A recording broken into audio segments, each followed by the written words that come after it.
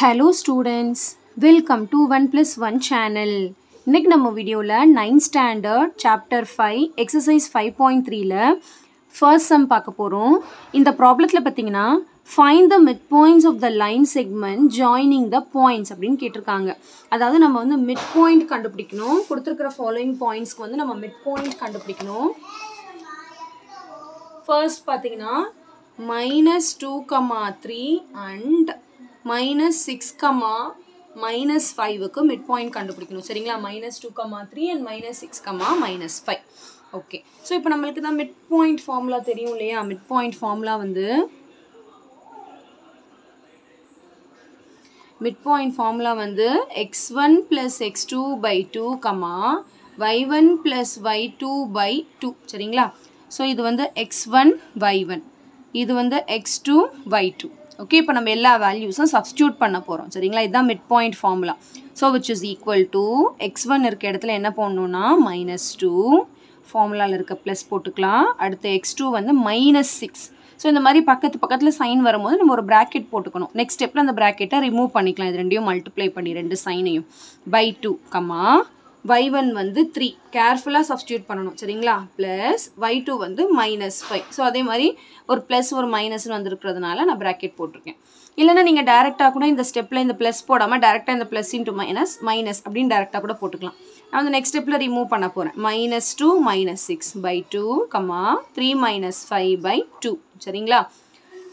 அதாவது ரெண்டு சைனும் மல்டிப்ளை ஆயிடுச்சு so minus two minus six பார்த்தீங்கன்னா மைனஸ் எயிட் சேம் சைனாக இருக்குது ஆட் பண்ணிவிட்டு அதே சைன் எழுதணும். அதே மாதிரி த்ரீ மைனஸ் ஃபைவ் வந்து மைனஸ் டூ பை டூ இப்போ நம்ம இதை கேன்சல் பண்ணிடலாம். Two one sir two four sir two one sir two two sir so answer பார்த்தீங்கன்னா minus four comma minus two இதுதான் மிட் பாயிண்ட் ஒன்றுமே கிடையாது டைரெக்டாக ஃபார்மில் அப்ளை பண்ணி நீங்கள் கரெக்டாக ஸ்டெப்ஸ்லாம் போட்டிங்கன்னா உங்களுக்கு எக்ஸாக்ட் ஆன்சர் வந்துடும் சரிங்களா? ஃபார்முலா மட்டும் ஞாபகம் வச்சுக்கோங்க. X one plus x two by two comma y one plus y two by two சரிங்களா? அந்த சயின்ஸை மட்டும் மிஸ்டேக் பண்ணாமல் இருந்தீங்கன்னா உங்களுக்கு வந்து ஆன்சர் ராங்கெல்லாம் வராது. நெக்ஸ்ட் பாருங்க. நெக்ஸ்ட் வந்து எயிட் கமா மைனஸ் டூக்கும் மைனஸ் எயிட் கமா ஜீரோக்கும் கண்டுபிடிக்கணும். அதே மாதிரி தான் எக்ஸ் ஒன் ஒய் ஒன் இது எக்ஸ் டூ ஒய் டூ சரிங்களா? இப்போ மிட் பாயிண்ட் கண்டுபிடிக்கணும். எல்லா சமக்குமே நம்ம வந்து ஃபார்முலா எழுதணும். சரிங்களா? Mid point is equal to x one plus x two by two comma y1 plus y2 by 2 so நம்ம ஃபார்மில் எழுதியாச்சு. இந்த பாயிண்ட்ஸும் நம்ம வந்து uh, அசியூம் பண்ணிக்கிட்டோம். இப்போ நம்ம வந்து uh, சப்ஸ்டிடியூட் தான் பண்ண போகிறோம் சரிங்களா? எக்ஸ் ஒன் இருக்க இடத்துல eight so eight plus minus eight கரெக்டுங்களா ஏன்னா எக்ஸ்ட் வந்து மைனஸ் எயிட் ஸோ நான் டேரெக்டாக போட்டுக்கிறேன் இப்போது இந்த ப்ளஸ்ஸும் இந்த மைனஸ் சேர்ந்து மைனஸ் ஆகிடுச்சு ஓகேவா by two comma by one வந்து minus two plus y two வந்து ஜீரோ தான். அதனால் ப்ளஸ் ஜீரோ அப்படியே போட்டுக்கலாம். பை டூ சரிங்களா? ஸோ எயிட் மைனஸ் எயிட் வந்து zero so zero by two comma minus two plus zero வந்து minus two comma two bracket போட மறக்கக்கூடாது. சரிங்களா? ப்ராக்கெட் வந்து கண்டிப்பாக போடணும் இந்த சம்லலாம் அடுத்து இப்போ வந்து ஜீரோ பை டூ வந்து zero zero by any number zero இல்லையா? இது வந்து கேன்சல் பண்ணிக்கலாம். டூ ஒன் ஜார் டூ ஒன் ஜார் கேன்சல் ஆகிடுச்சுன்னா மீதி மைனஸ் ஒன் ஸோ இதுக்கு பார்த்தீங்கன்னா மிட் பாயிண்ட் வந்து ஜீரோ கமா மைனஸ் ஒன் அப்படின்னு கிடச்சிருக்கு. சரிங்களா? நெக்ஸ்ட் பாருங்க. A comma B A comma B and A plus two B comma A plus two B comma two A minus B so இப்போ இதுக்கு வந்து மிட் பாயிண்ட் கண்டுபிடிக்க சொல்லியிருக்காங்க. சரிங்களா? ஒன்றுமே இல்லை அதே மாதிரி தான் இது எக்ஸ் ஒன் ஒய் ஒன் இது வந்து x two y two comma வந்திருக்கு இல்லையா? இது வரைக்கும் எக்ஸ் டூ இது ஒய் டூ சரிங்களா? இப்போ மிட் பாயிண்ட் ஃபார்முலா வந்து எழுதுங்க. மிட் பாயிண்ட் ஃபார்முலா வந்து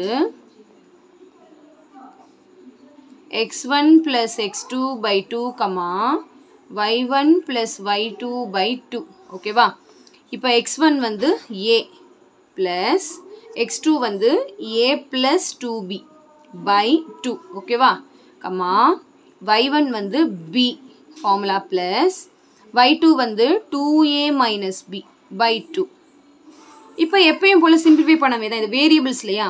ஏ ப்ளஸ் ஏ வந்து டூ ஏன்னு எழுதிக்கலாம் இல்லையா? ஏன்னா சேம் லைக் டேர்ம்ஸாக இருந்தால் நம்ம ஆட் பண்ணுவோம்.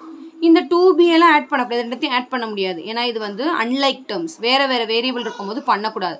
நெக்ஸ்ட் பார்த்தீங்கன்னா பி மைனஸ் பி ஜீரோ ஆகிடுச்சு அப்போ plus B minus B cancel ஆயிடுச்சுன்னு அர்த்தம். இங்கே வந்து டூ ஏ பை டூ மீதி இருக்கிறது. இப்போது இது எதுவுமே பண்ண முடியாது. இது அப்படியே தான் ஆன்சர் இதை கேன்சல் பண்ணிக்கலாம்.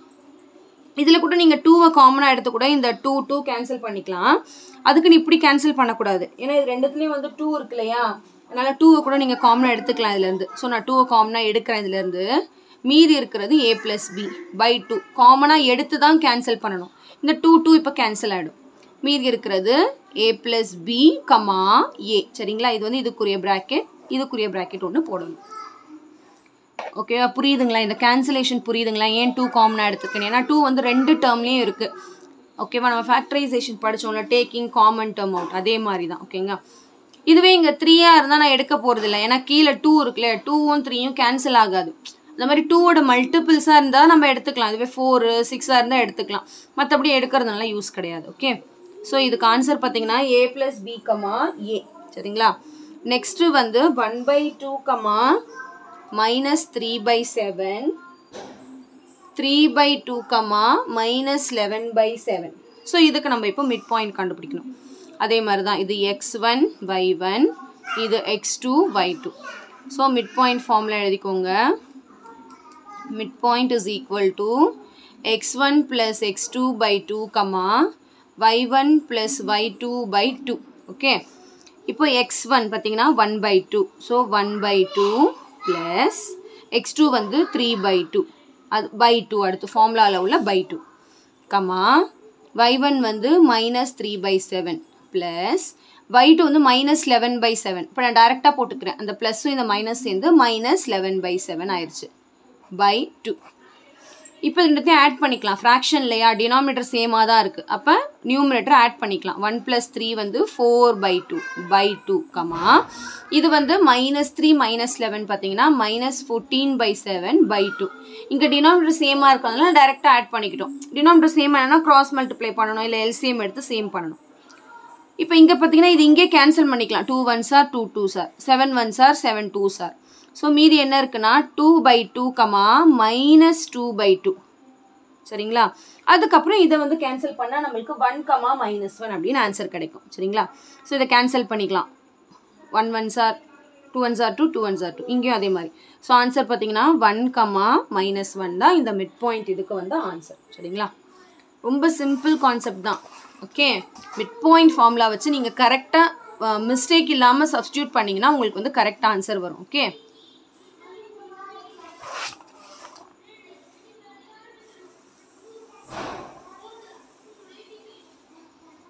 ஸோ கண்டிப்பாக இந்த சம் நல்லா உங்களுக்கு கிளியராக அண்டர்ஸ்டாண்ட் ஆகிருக்கும்னு நினைக்கிறேன். So thank you so much for வாட்சிங் ஸ்டூடெண்ட்ஸ் பாய்